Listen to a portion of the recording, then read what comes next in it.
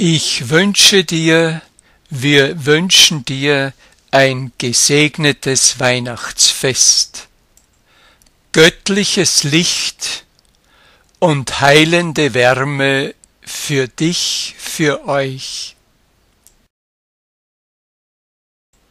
Ganz tief drin im Innersten deines Seins sei erleuchtet. Eine Zeit voll Licht und voller Segen.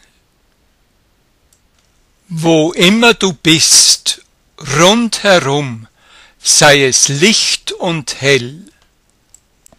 Und wo immer du dich bewegst im neuen Jahr, Engel seien an deiner Seite, um dich zu behüten.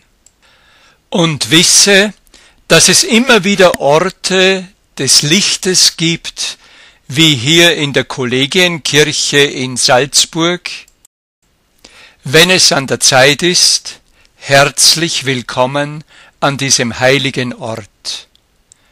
Bleib im Licht, gesegnete Weihnachten und das Licht des neuen Jahres für dich, für euch.